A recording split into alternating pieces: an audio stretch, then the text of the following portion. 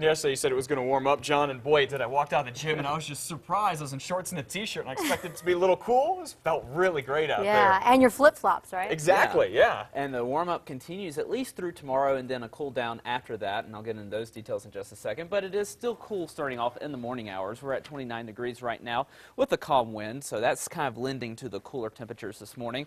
Other temperatures across the state, we're at 9 degrees in Alamosa, 19 in Taos, 32 in Santa Fe, 11 in Grants, 23 in Gallup. Down to the south, we're in the 20s, 30s, and even managing to reach the 40s in Ruidoso, 41 degrees there, 28 in Alamogordo, and 31 in T or C.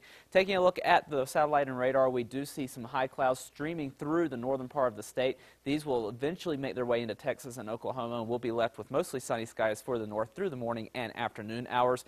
We'll be looking for mostly sunny skies through the south part of the state and the metro through the morning hours as well. And the sunshine will continue through the upcoming weekend as high pressure is in firm control of our weather, not only bringing us all the sunshine, but it will also continue to warm things up for this afternoon. Temperatures make their way to the mid 50s for the metro this afternoon.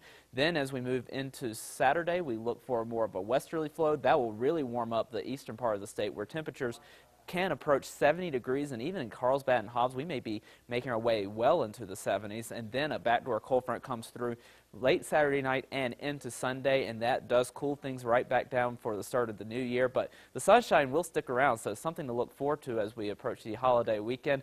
And of course, you do want to stay safe out there as you go out and enjoy it as well. Taking a look at the East Mountains, temperatures for today will be in the 40s and 50s with mostly sunny skies. We could see a breeze from time to time, especially in the afternoon. In the metro, temperatures here in the mid 50s with lots of sunshine, and we stay in the mid 50s for Saturday before that front comes through. Then we knock 10 degrees off of our afternoon high. We'll only make it to 46 for Sunday. But if you look into the new year, by Tuesday, Wednesday, and Thursday, we start to warm things back up, and we're back into the mid 50s by the middle of next week.